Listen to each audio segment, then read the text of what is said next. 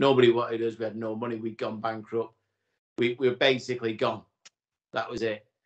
And it felt like a death in the family. Now, for all them fans now that are saying, that's it, I'm not going, I'm giving up. Just just think about that. Think about that. And you might not have your club forever. So I just say, just keep watching. Because when it's gone, it's gone. And without you, it, it will go.